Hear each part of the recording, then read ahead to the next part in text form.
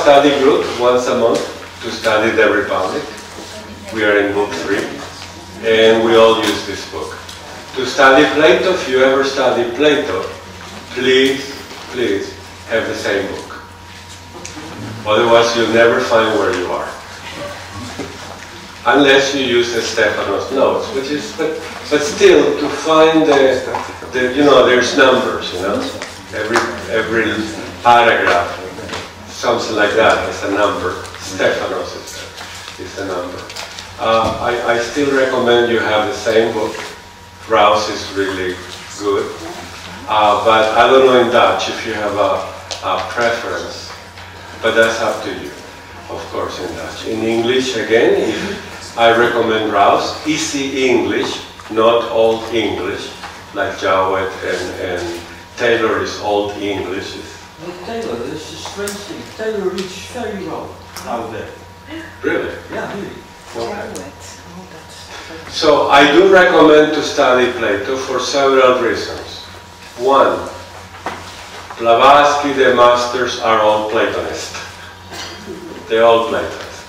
Isis Unveiled starts with a whole chapter on Plato. The, the introduction to Isis is all Plato. It's all Plato. Study that. It's very important.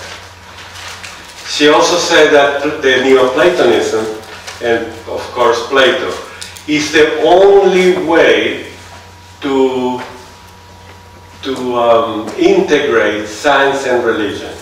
The only way. This is very impressive. The reason for that is in book six, sorry, just before the myth of the cave. In book six, Plato gave us the key to integrate religion and science. Why? He gave us the analogy, the most famous Platonic, Platonist, Platonic analogy, which is the following. And I say that many, many times. As the sun with the sunlight illuminates the physical things, and you can see them with your eyes, you see it? You got to concentrate, huh, Dharana? As the physical sun illuminates physical things, and you can see them, study them, recognize them with your physical eyes. Science. This is science. Mm -hmm. Physical. So, in the metaphysical world, the ideas, which are the ideas in the secret doctrine that are necessary to establish the whole universe, the idea of the one, the idea of the good, illuminates things metaphysically in such a way that the eye of contemplation can see. Your body can see them. Religion, mysticism. See that? So there is an analogy between the physical world and the metaphysical world that every great teacher, philosopher, religion uses.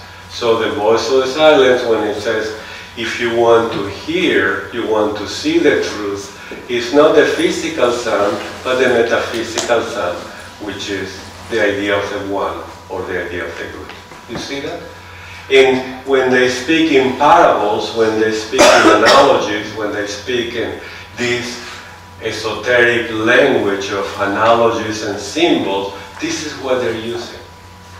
And everything, therefore, in the micro physical world has a counterpart in the metaphysical world. You see that? And that's the way to preach science and religion. I don't know if you see it, but it is, that's a good beginning. That's a very good beginning. And so Blavatsky and the Master says, to understand the metaphysical world, you got to use analogies with the physical known world, what you know.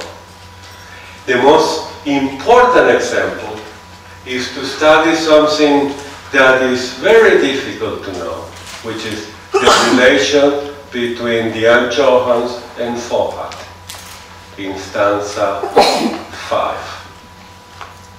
Relation between the Dhyan Chohans, the Dhyan Chohans and Fohat. Do you all know what I'm saying? I'm sorry, let's go negative. Anybody doesn't have this knowledge of Fohat? You and you, okay. So, here is what Plato said. Zeus, in order to create, or I'm sorry, in order to manifest this universe, Zeus, you know Zeus, right? Minimum, no Zeus. If not, Jupiter. Zeus, in order to manifest the universe, contemplated the ideas in his mind. These ideas in his mind in the secret doctrine is called cosmic ideation. Zeus, contemplating this, is called divine thought. Divine thoughts. Thought divine. Right? Now, in Zeus contemplating and this is what in Greek is called ousia. I don't know Greek, but I, I just read that, right? The ousia is, is the way that you contemplate an idea. Now, when I say that in the universe, you humans on the road, you can apply to your own creativity, right? You concentrate, you contemplate in ideas as Zeus contemplated ideas and he manifested the universe. This is the Timaeus. What the secret doctrine, so you follow me? Zeus contemplating ideas manifested the universe. What in the secret doctrine, in the pro, Blavatsky brought to the world is a new concept. It's called Fohat. And she said this is new. New, uh, new, new concept something that was kept veiled till now. So she said the following. Dhyan Chohans, contemplating the ideas existing in the plane, let's say, in the Buddhi plane of the universe, plane of the universe, for instance, or, or whatever, contemplating those ideas manifested the world.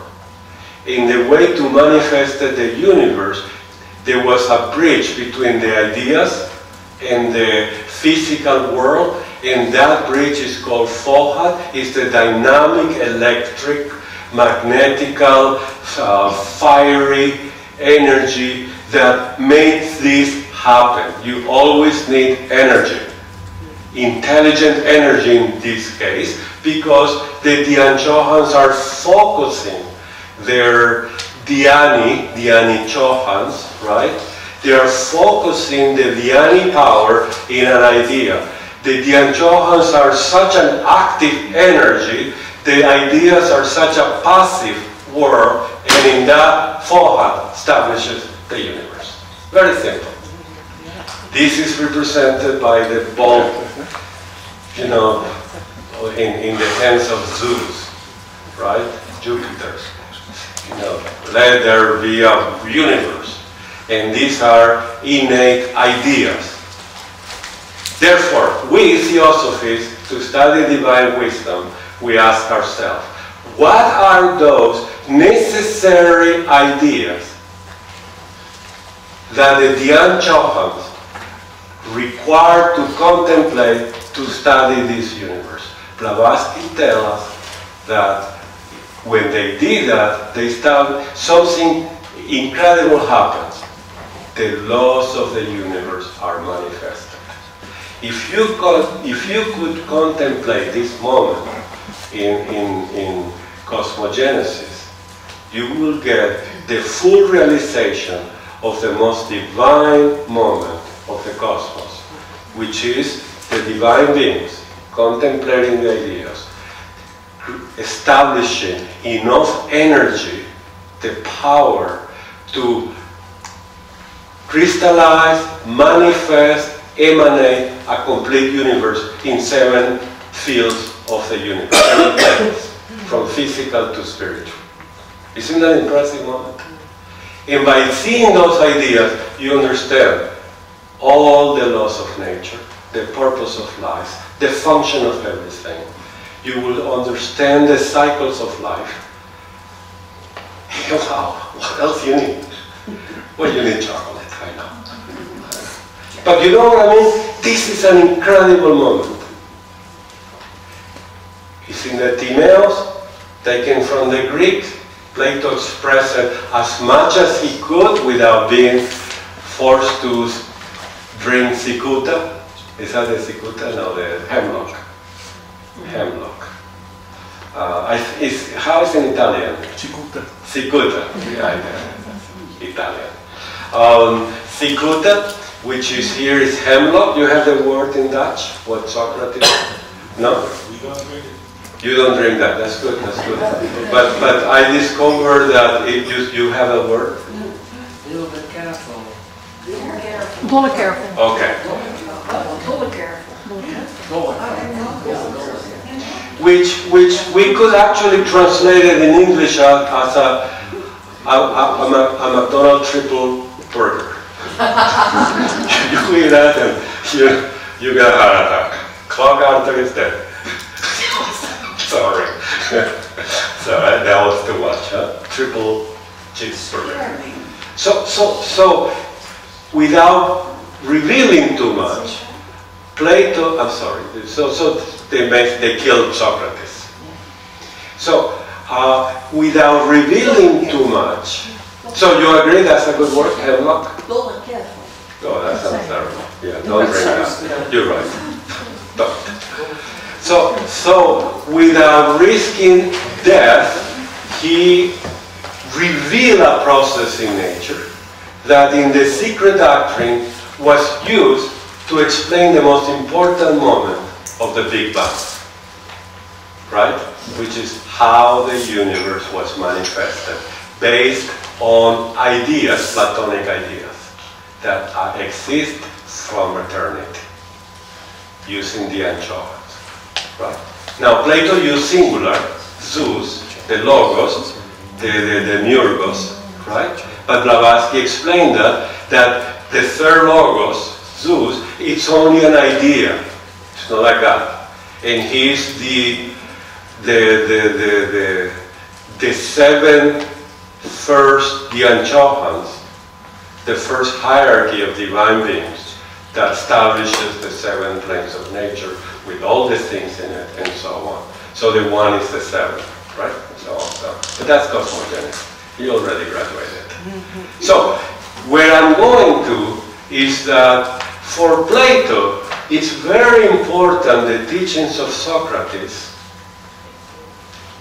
who he appreciated a lot, immortalized him, because Socrates never wrote anything, just like me. just never wrote anything. We, we have something in common, right? If you wrote something, you're like Plato. Right? I, like Socrates, never wrote anything. He spoke a lot, they'll kill him. Maybe they'll kill me.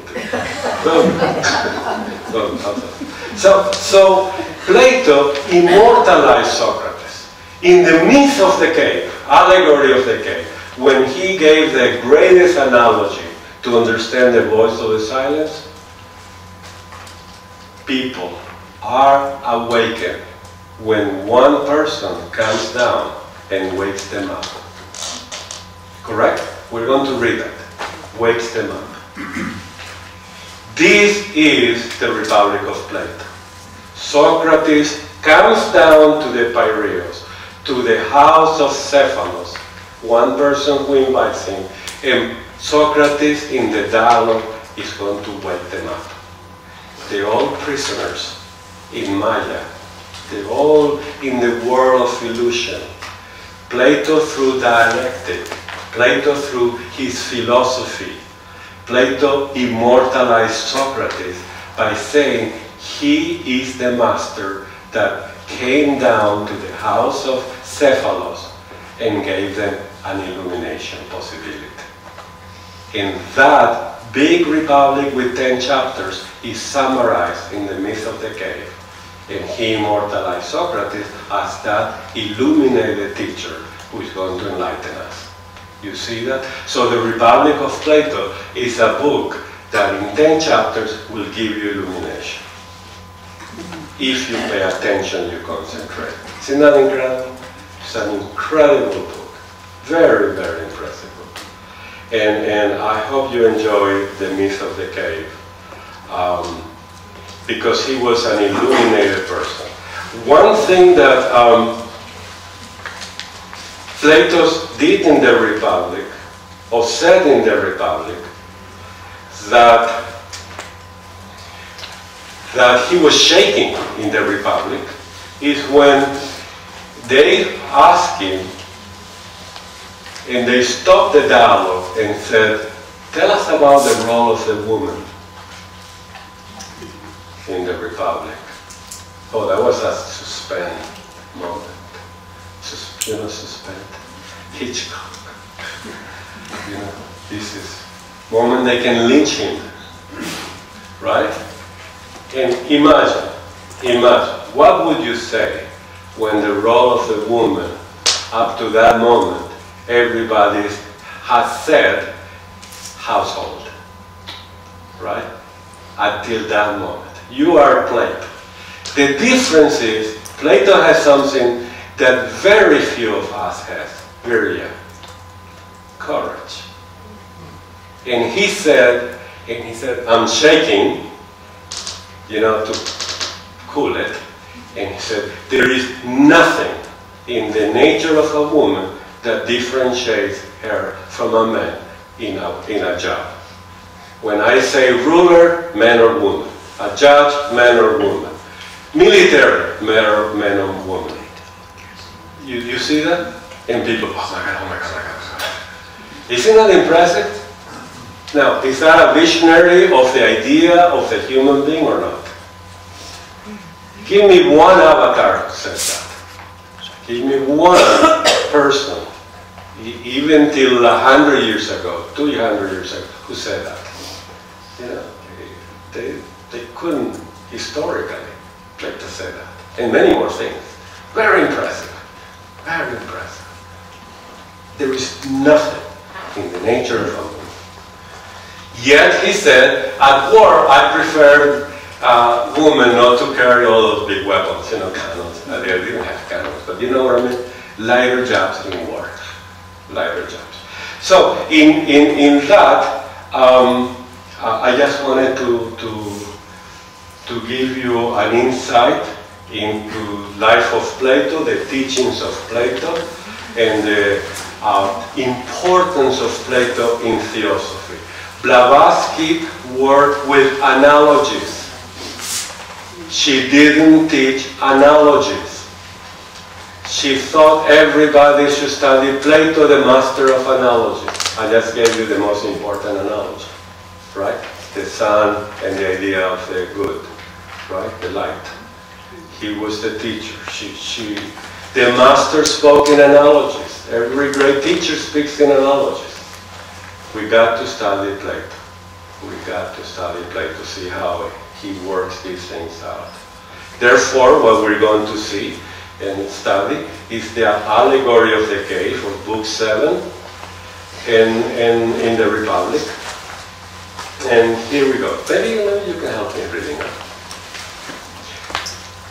Most people have seen this in movies or, or in stories, or you have read this in school, in university. It's a wonderful story. So you start and I stop you to comment. Okay. And this is Socrates. And now, I said, let me show in a figure how far our nature is enlightened or unenlightened. Behold, human beings living in an underground den, which has a mouth open towards the light and reaching all along the den. Here they have been from their childhood and have their legs and necks chained so they cannot move and can only see before them, being prevented by the chain from turning round their heads. Should we uh, draw this or no? I can give it a shot. You want to draw it or you, you saw it? Yeah. I'm a good. Otherwise, she volunteered for a drawing. I don't know if you like her. I don't draw She, she unless we have a, an artistic volunteer. any, any artistic volunteer to draw a cave with all the people chained? No? But maybe it's too distracting. Huh? So, Alright. so let's see if we can concentrate. If you say We draw use that it. imaginary power here. Okay. Above and behind them is a fire blazing at a distance. And between the fire and the prisoners, there is a raised way. And you will see, if you look, a low wall built along the way, like the screen which marionette players have in front of them, over which they show the puppets. And do you see men passing along the wall, carrying all sorts of vessels and statues and figures of animals made of wood and stone and various materials, which appear over the wall? Some of them are talking, others silent. Um, and then that must be Glaucon. You have shown me a strange image, and they are strange prisoners. So, this is a dialogue between Socrates and Glaucon. Glaucon was a brother of Plato. And he's showing that a, a cave. You know a cave? Have you been inside a cave? Very dark. Very, very dark. And at the bottom of the cave, there is a wall. And there are chairs, red chairs like this. And there are people like you, chained. She's not my chair. They're chained to the chair. And they look forward. They just look forward. they just look forward. And they're chained. They cannot turn around.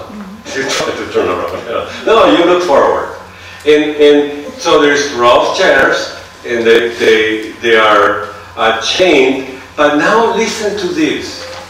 They are chained from childhood. They are not born chained from childhood.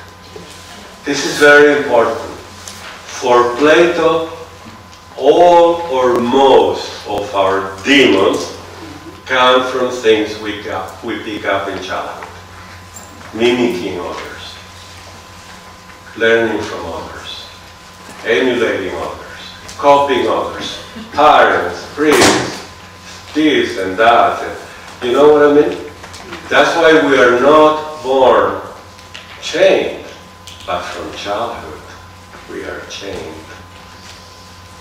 This is something that is in from book three and up. She explains his philosophy of psychology, of why imitation destroys creativity and destroys courage and destroys wisdom.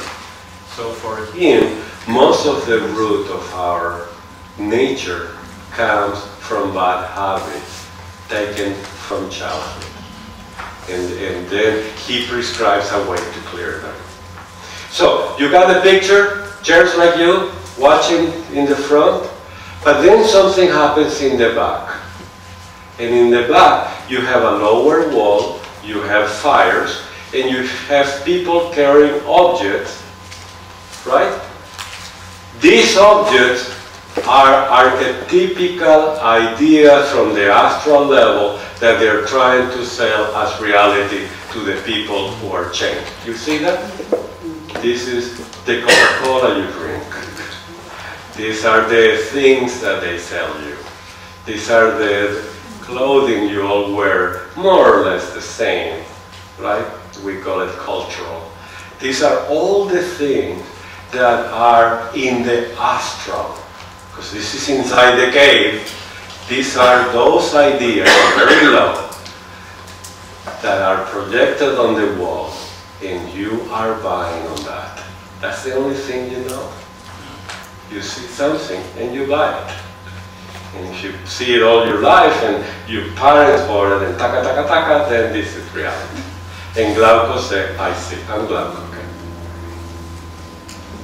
And you see, you see. You, you're right. And do you see men passing along the wall, carrying all sorts of vessels and statues and figures of animals made of wood and stone and various materials which appear over the wall? Some of them are talking, others silent. You have shown me a strange image, and they are strange prisoners. like ourselves. Socrates said, like ourselves. So these are people in the back, walking with things, right? Projected, and, and, and they talking, and, and it's like a movie theater. You, you see, right? And, and that's the reality.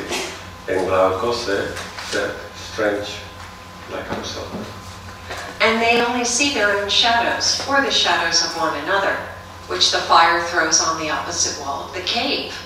True, Glaucon said. How could, how could they see anything but the shadows if they are never allowed to move their heads? So what are the shadows? Not real. What not moving the head means? They're stuck in the physical nature of things, right? The lower nature of things. And of the objects which are being carried in like manner, they would only see the shadows. Yes. And if they were able to converse with one another, would they not suppose that they were naming what was actually before them? Very true. Naming means you, you learn how to recognize things the way they want you to see.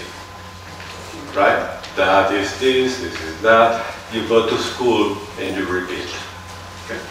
And suppose further that the prison had an echo which came from the other side. Would they not be sure to fancy when one of the passers-by spoke that the voice which they heard um, came from, from the passing shadow? No question. To them, the truth would be literally nothing but the shadows of the images. Oh my God. that is certain. And now look again and see what will naturally follow if the prisoners are released and disabused of their error. At first, when any of them is liberated and compelled suddenly to stand up and turn his neck round and walk and look towards the light, he will suffer sharp pains. The glare will distress him, and he will be unable to see the realities of which in his former state he had seen the shadows. And then conceive someone saying to him that what he saw before was an illusion, but that now, when he is approaching nearer to being and his eye is turned towards more real existence, he has a clearer vision. What will then be his reply? And you may further imagine that his instructor is pointing to the objects as they pass and requiring him to name them.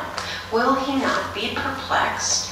Will he not fancy that the shadows which he formerly saw are truer than the objects which are now shown to him? True. So look what, what happens here. Um, first, he is, they are chained to the chair. Do they unchain themselves alone? No. In the midst of the cave, in the allegory of the cave, a prisoner is released. They, for Plato, you need a teacher. You need to study. You need to do something else that you cannot imitate from childhood if you are not wise. Something like that. You need help. That help comes in many ways. But don't say that the prisoner releases themselves because it's not here. Remember, we got to be textual. There is an image here. What happens if the prisoners or some prisoners are released? And now they see another thing. Imagine that this, you are this prisoner. I release one of you, and then you can walk and move and go back and see the wall, see people walking and talking. You see the shadows. Oh my God, you see so much more. You have a new reality, right? You have a psychic reality that is, was not before within you. The- This scares the heck out of people, right? You are in a next level. And they, and what would they say? They say, oh my God, you, you, you are awake. These are the things that we're selling. Graduate. Uh, become like one of us. Isn't that true? They incorporate you in, in, in, the shadows, in the walkers. Now you have an MBA. Now you are a salesperson. Now you, you, you, you can manipulate people. You are on the back. Right? This, the others pour you. You are chained to the chair. That's all you can do. So, so if you know and you understand and you are instructed that there is still something else and you are in a cave and there is a way out of the cave, would you go out of the cave? And that takes courage. Isn't that true? To leave behind what you are so used to. You couldn't even change yourself. Now you're walking and, and, and they say, oh, but the real light is outside the cave. Can you go outside the cave? This, this is what we need to, to look into. Then, And if he is compelled to look straight at the light, will he not have a pain in his eyes which will make him turn away to take and take in the objects of vision which he can see and which he will conceive to be in reality clearer than the things which are now being shown to him? do you, have you been in a cave or in a very dark place and then you see the light and there is pain? Right? So this is the moment right, that, that the light causes pain. Yeah. And suppose once more that he is reluctantly dragged up a steep and rugged ascent and held fast until he's forced into the presence of the sun himself. Is he not likely to be pained and irritated? When he approaches the light, his eyes will be dazzled, and he will not be able to see anything at all of what are now called realities. Not at all in a moment. He will require to grow accustomed to the sight of the upper world. And first he will see the shadows best, next the reflections of men and other objects in the water, and then the objects themselves. Then he will gaze upon the light of the moon and the stars and the spangled heaven.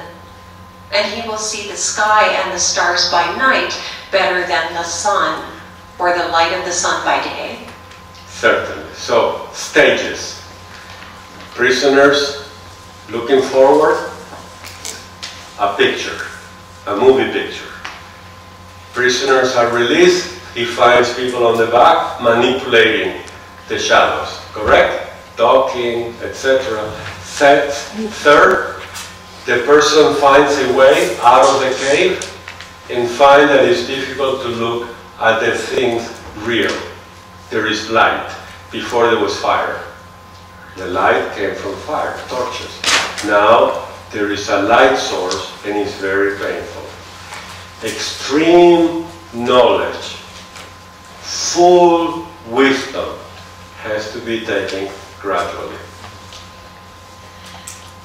And you need to get used to.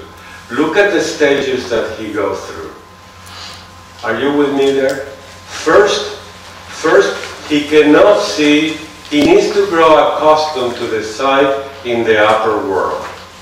You're outside the cave. Uh, and first, he sees the shadows best. You see your shadow best. Isn't that true? Just imagine a moment. Next, you see the reflection of people and objects on water. You're still looking down, right? But you see better. Follow me? Follow? Shadows, now the real people and objects reflected on water. All of these physical things has a metaphysical analogy. Okay? We, we'll talk about it in a minute.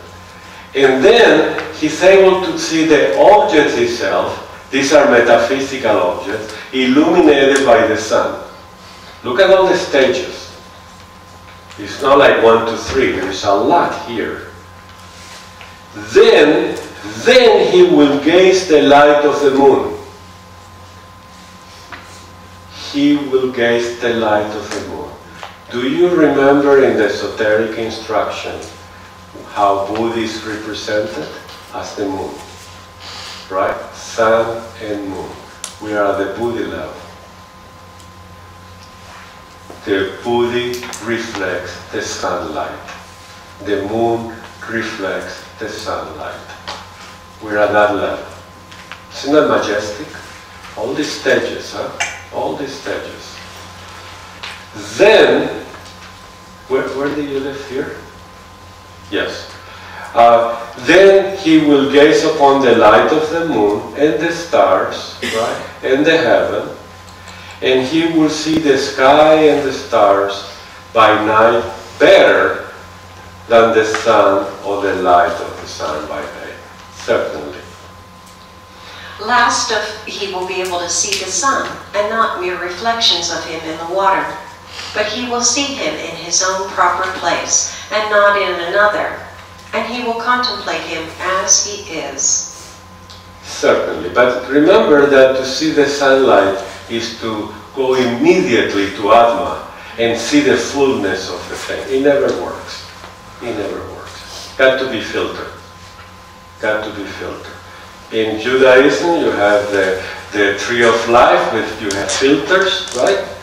Right, and, then you have those 10 filters, and the light coming, uh, going from one to another, 22 paths, and, and, and you have in the human constitution the principles and the planes that are filtering the light from Atma. You can see the Atma. That's a romantic thinking. Oh yeah, I can see the light. No, you cannot. You know, the teachings are not there. It's a slow process, but it's a process nevertheless. And if they were in habit of conferring honors among themselves on those who were quickest to observe the passing shadows, oh wait a minute, No, sorry. When he remembered his old habitation and the wisdom of the den and his fellow prisoners, do you not suppose that he would felicitate himself on the change and pity them? Certainly. So, so here comes memory. He remembers the cave. This is very important. This is what we want. You, you got to samadhi, right? You can see the sunlight. So moksha, liberation is right there. You got a memory of the cave with your fellows. Isn't that true? Isn't that what we want? We want to get to prajna, change, right? From moksha to prajna, renunciation. This is what we've been studying. Very important. And, and the whole key is remember the fellows. Remember suffering. Remember avidya, ignorant. They are in ignorance. Even the ones who are walking, they are ignorant of the reality. Remember, remember, remember. Where we are. Go ahead. And if they were in the habit of conferring honors among themselves on those who were the quickest to observe the passing shadows, and to remark which of them went before and which followed after, and which were together, and who were therefore best able to draw conclusions as to the future, do you think that he would care for such honors and glory, or envy the possessors of them? Would he not say with Homer, Better to be the poor servant of a poor master and to endure anything, rather than think as they do and live after their manner. Yes, I think he would rather suffer anything than entertain these false notions. You see? False belief, false notions. Avidya. And live in this miserable manner. So, so you see, he cared less about history, he cared less about uh, and honors and, and the historical location that he left in the year and came back. And no, no, it's compassion. Compassion rules. Care less about anything else. Imagine once more such a one coming suddenly out of the sun to be replaced in his old situation. Would he not be certain to have his eyes full of darkness? To be sure. And if there were a contest and he had to compete in measuring the shadows with the prisoners who had never moved out of the den, while his sight was still weak, and before his eyes had become steady, and the time which would be needed to acquire this new habit of sight might be very considerable, would he not be ridiculous? Men would say of him that up he went and down he came without his eyes, and that it was better not even to think of ascending. And if anyone tried to loose another and lead him up to the light, let them only catch the offender and they would put him to death. No question that this is a problem for the path of woe. So, did you see the path of woe? He's so used to the light, she's so used to the light, that by compassion comes back to the cave. See that? Now he's so used to the light that can function so well in the world of humans, right? And he's going to say, hey, I have a, a great story for you. I left, I came back. And I came back with something that I call prajna, wisdom. And he's going to give you freedom. And he said, but you cannot even see here anything. You, you, you, you, look like a clown. You look like a fool. We don't even understand your new vocabulary. Isn't that a beautiful story? And, and, and, and you want me to follow you? To do what? To come back like you? And you call, how do you call yourself? Bodhi what? Bodhisattva? I don't know. I mean, you don't, can't even see reality. You don't even know where the chocolate is. Mean, you, you, you're nothing. You're not a human being because the concept of the human is different. This is the drama of, of, of the path of return. Beautifully said. And, and, and, and no question that that's what do. At the very end of that, they say, uh, yeah, they even, they would put him to death. Do you have any historical testimonials that they have killed people like this? Well, almost all of them. right? I This, this is what Plato was trying to not get to, you know, and he, he, he didn't reveal too much, but, but you know, people like Socrates were, were killed. And, and what, remember what Socrates said um, when they say, uh, we're going to uh, take you, we, you could skate with us? And, and he, he said, no, because I won't be able to, to apply philosophy. And what was his famous words in English? There is no ex... The unexamined life, the unexamined life is not worth living. Right. If I cannot be a philosopher and look for wisdom and help people, what's life for? I'm better dead. So I'm not living. I'm not living out of this, and I, I want to drink my hemlock because I, I, I cannot help people. I'm, I'm helping people to find the light. And you're asking me never to do that. So I cannot examine my life and others. I'd rather be dead. An unexamined life is not worth living. Isn't that incredible? He knows also he's going to or go to Nirmanakaya or to reincarnate. He knows that. right? Because it's in the teachings of Plato. We know he knows that. So he had the courage to say, I'm better dead than alive. And an, ex- an, an examined life is not worth living. An unexamined life is not worth living. How many times have you said that? Well, at least once today, if you think about it. This is the truth of philosophy.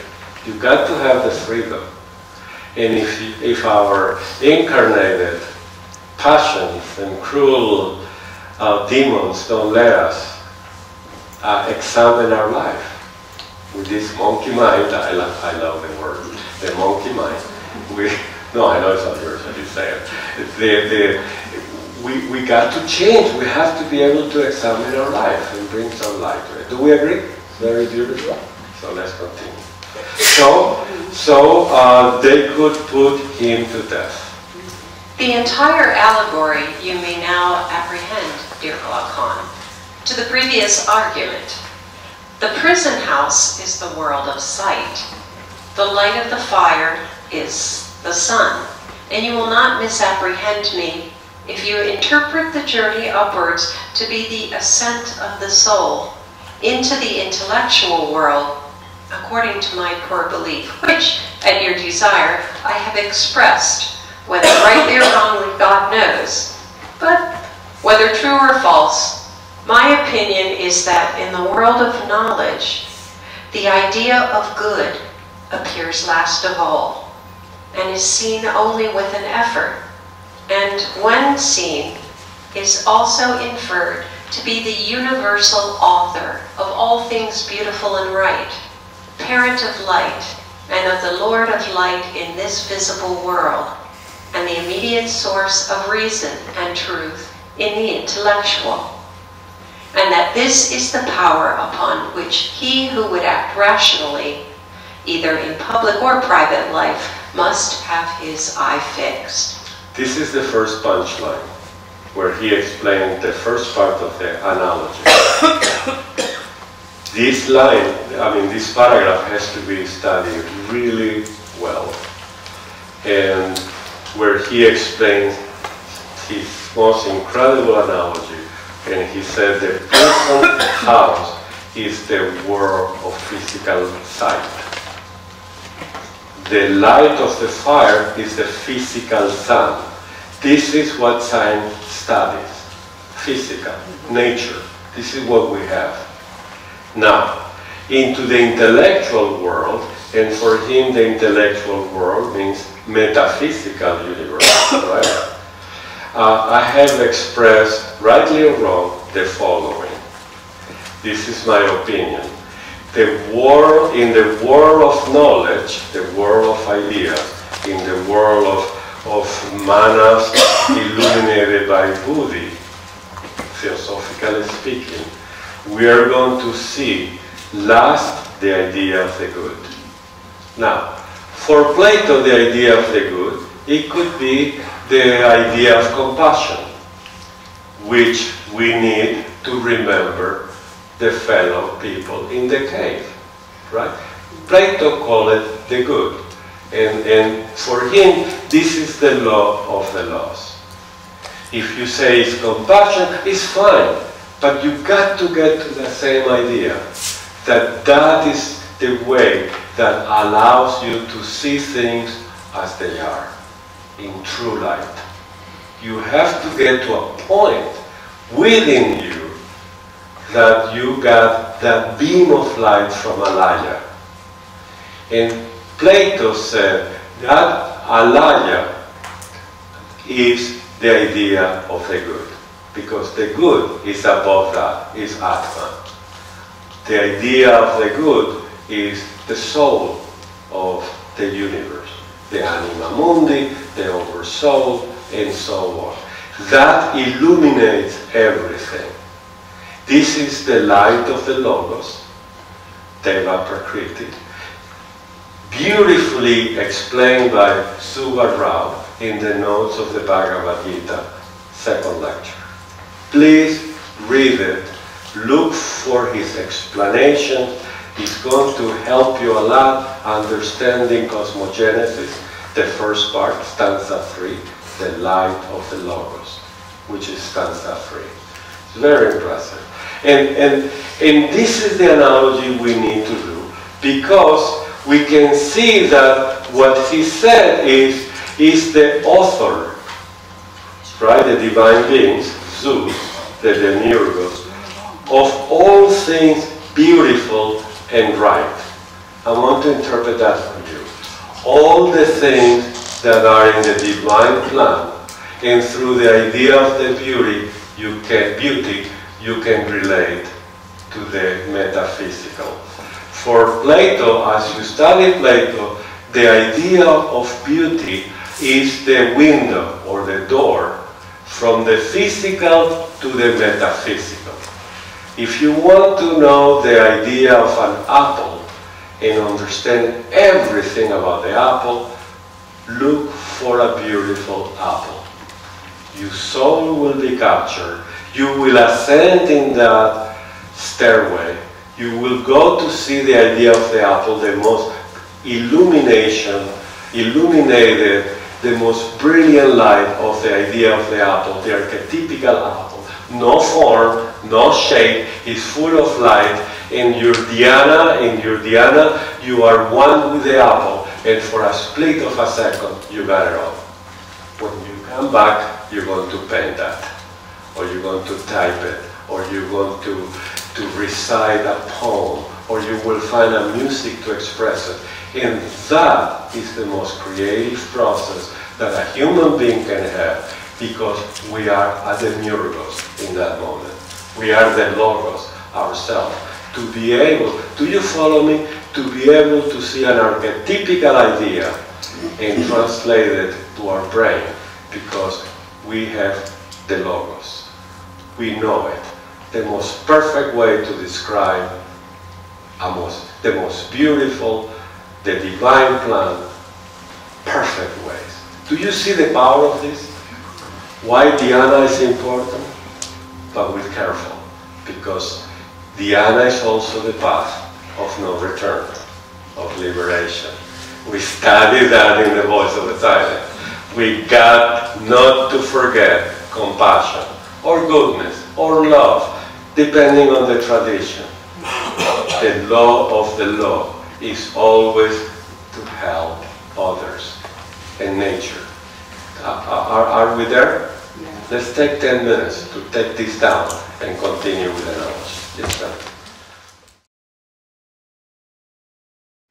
So in the last paragraph, we, I, I have said that it's very important to, to read this many times to understand the power of the human creativity as an analogy to the creative power of the Logos. And, and to be able to see the beauty in the idea that, that, that we are focusing on, or to see the beautiful things here, to walk through the Fohatic bridge to the idea. You follow what I'm saying?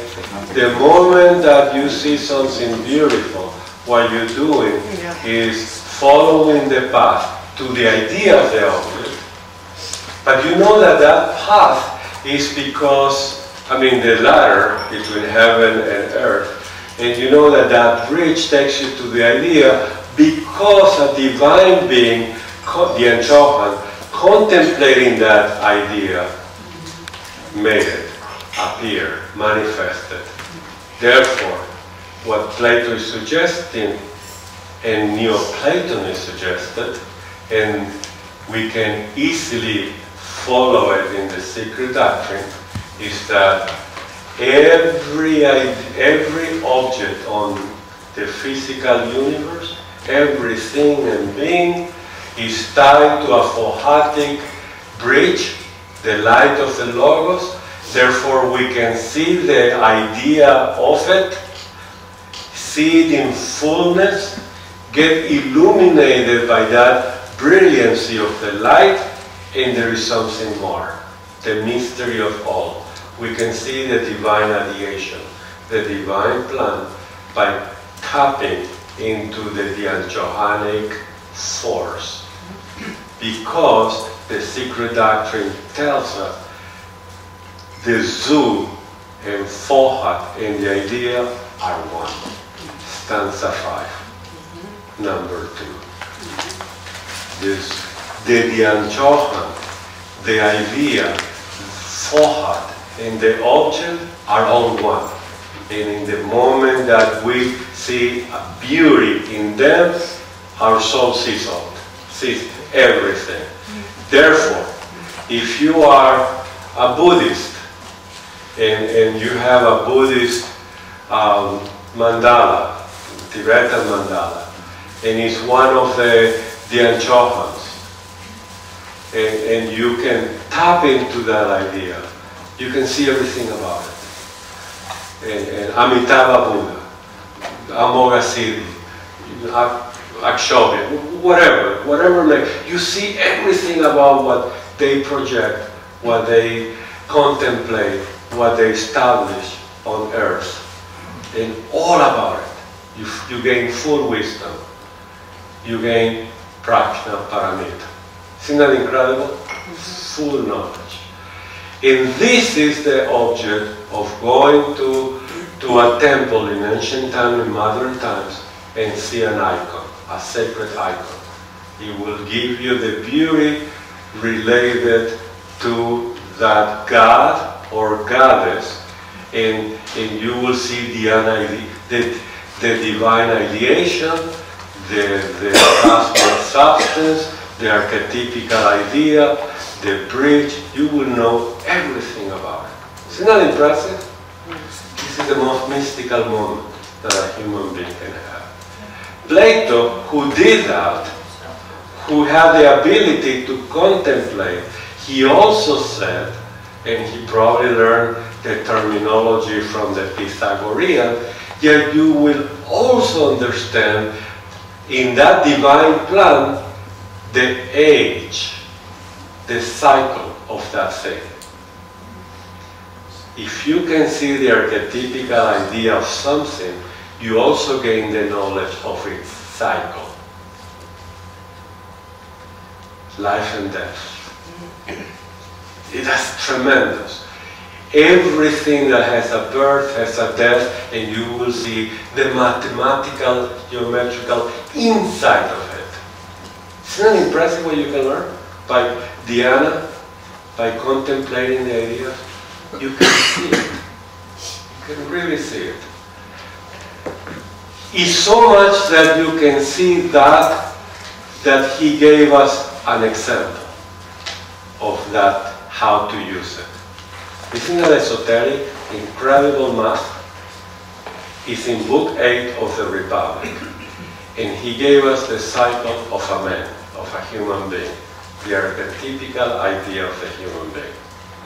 So he applied a formula that he did not give and gave us the process.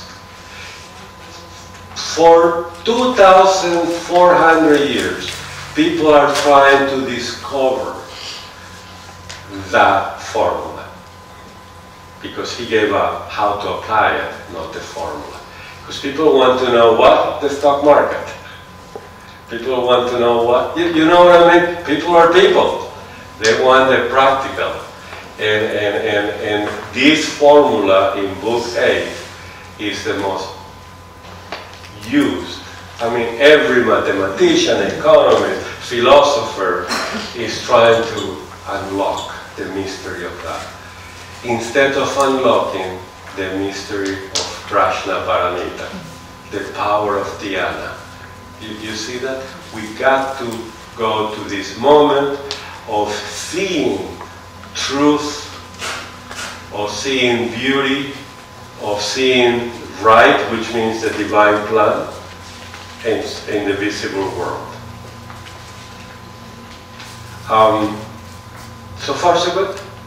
Yes? You can see so much by contemplating.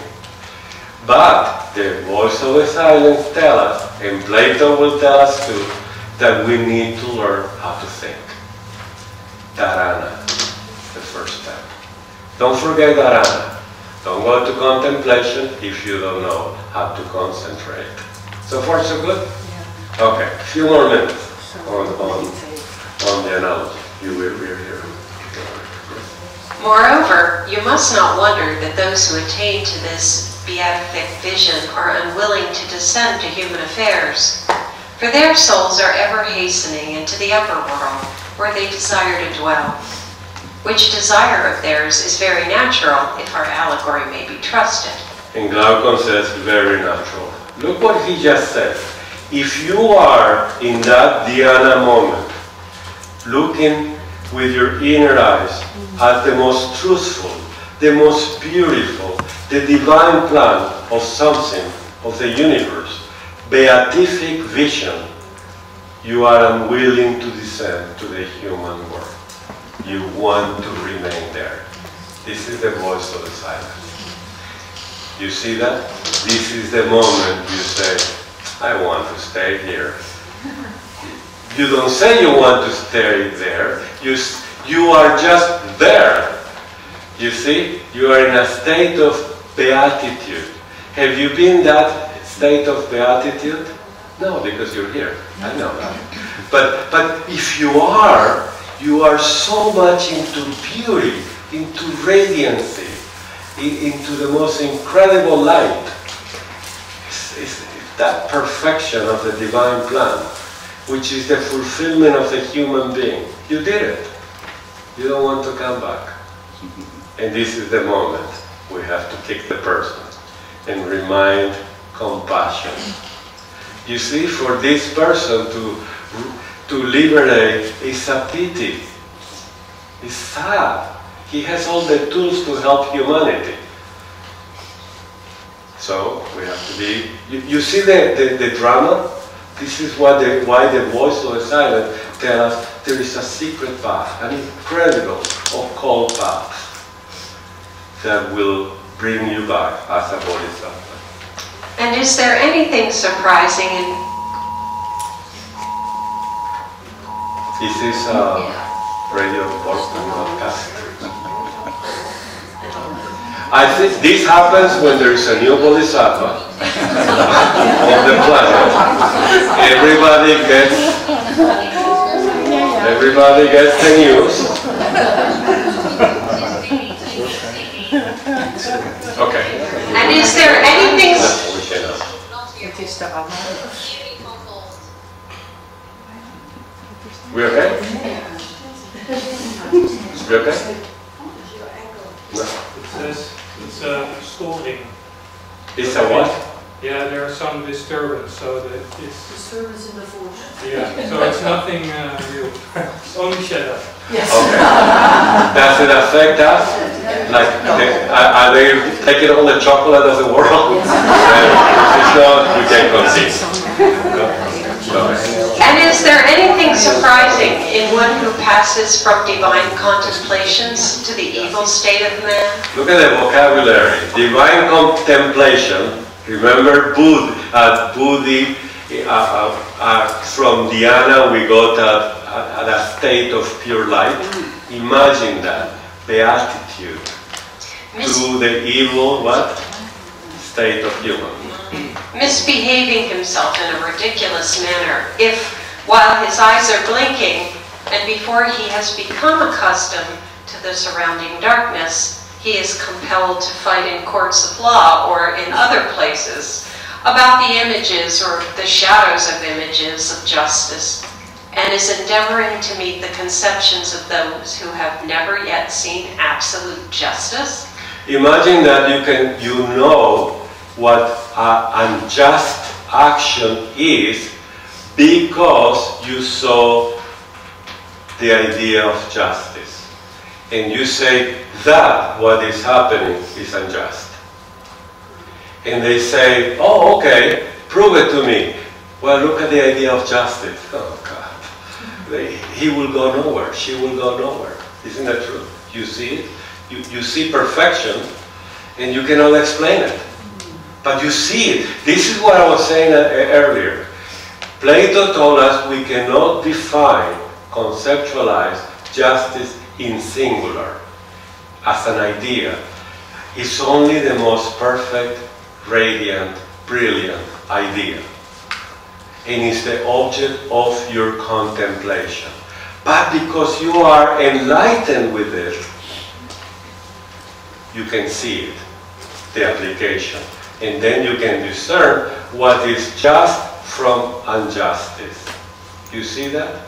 And you have virtue, you have courage, and, and then you see injustice. Remember the voice of the silence. In action, in a moment that you need to act, is bad news. It's a sin. See that? That's why they get killed.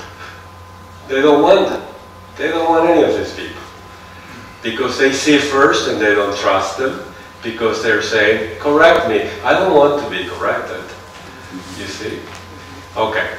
So the book one of the Republic of Plato starts with a study on justice, telling us that how we apply justice to us and to others is our stage of consciousness. For instance, if you are one of those who apply justice as an eye for an eye, it's very low. Isn't that true? Right? And so on. So for Plato, when he investigates and, and look into his own soul and others, explore. Remember, an explorer, is it an explorer? The unexamined. and uh, examine your soul and others, he's looking for how you apply the virtues. And if that application doesn't match the idea, then he tries to correct you by taking you by the hand, dialectic.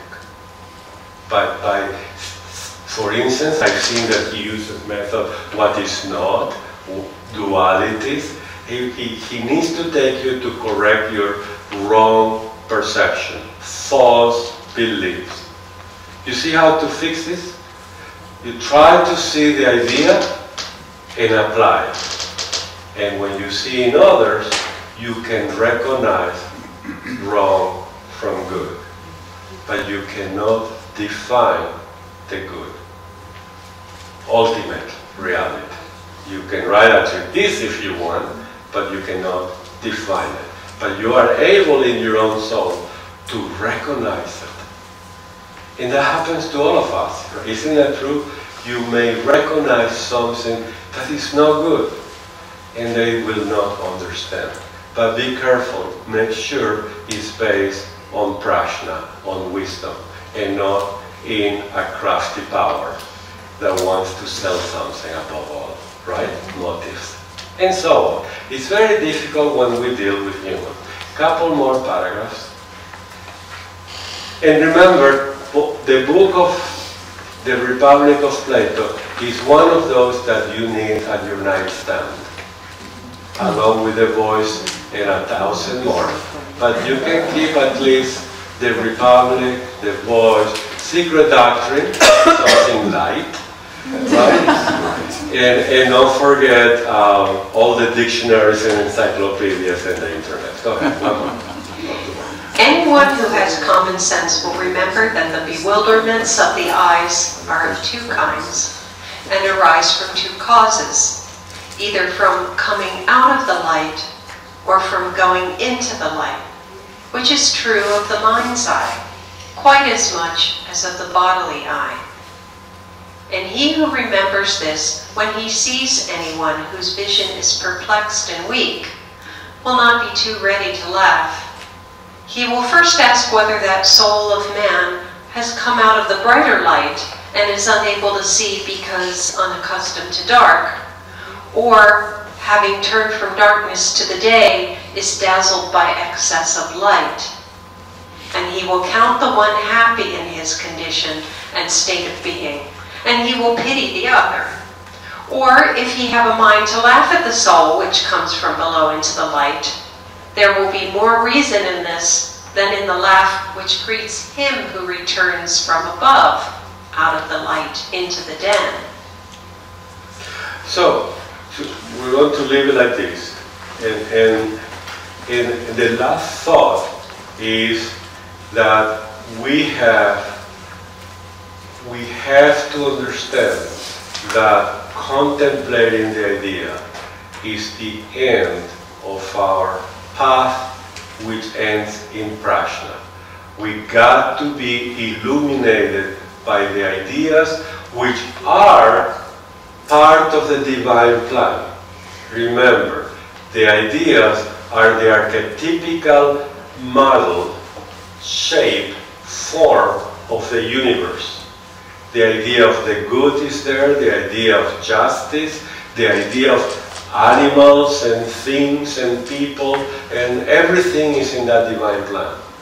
And they are here because at Dhyan Chohan, contemplating the idea, through Fohat, manifested it. And then we have an astral model, very clear in anthropogenesis, the astral model of the human being. We have a mental model, we have the real model, the real idea, which is the most brilliant light of being. That is what we want. So, so please remember there are, uh, our mind has an eye that through concentration and contemplation we can have those visions. And there are two moments that he said. When you go into it and you say, wow, I'm, I got it. And when you come out and you try to relay that to others. One is within yourself, when you get the light, and the other is when you got the light and you want to share it. And most of the time, people said, you are mad. You saw what? I mean, they're in the cave, right? You saw what? The idea of compassion, of the good? Really? And you want me to stop what, what I've been doing for a million years? No. You dead. this is the problem. So, so uh, this is what theosophy is. Remember, contemplating this divine wisdom. That's the end of our task. Don't forget compassion. Right, what he said. Thank you, I hope you enjoy. There is a lot more, of course, a whole book, right? And it takes you to the head. But this allegory of the allegory of the cave is incredible and it's the voice of the silence as a little drama. Isn't that true? It's, now it's going into the mental, from Dharana to Dhyana, and Prajna is going to go through that process. There is no time for that, but I know you're going to do it tonight. Reading it. It's very important. Thank you so much.